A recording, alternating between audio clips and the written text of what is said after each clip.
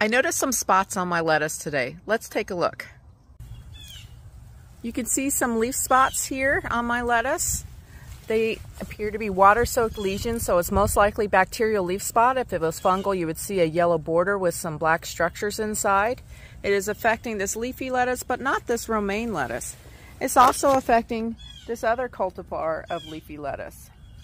What I'm at, what you can do to control this is make sure you water from below because bacteria spread through water on the leaves. Also remove some of the dead material that's in there and you can pick off some of the leaves that is infected to reduce the spread. You can also use a copper fungicide that will stop the spread but it does not cure the disease.